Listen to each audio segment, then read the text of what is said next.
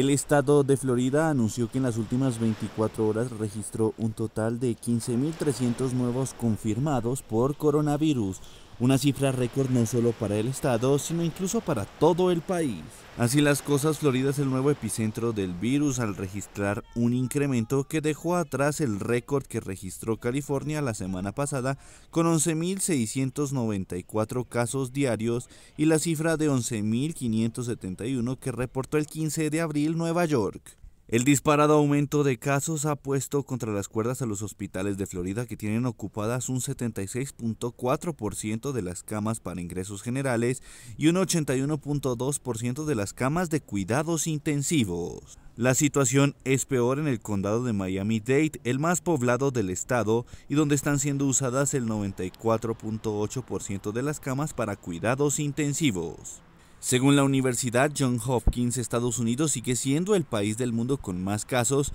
con un total de 3.28 millones, mientras que 135 mil personas han fallecido por cuenta del virus.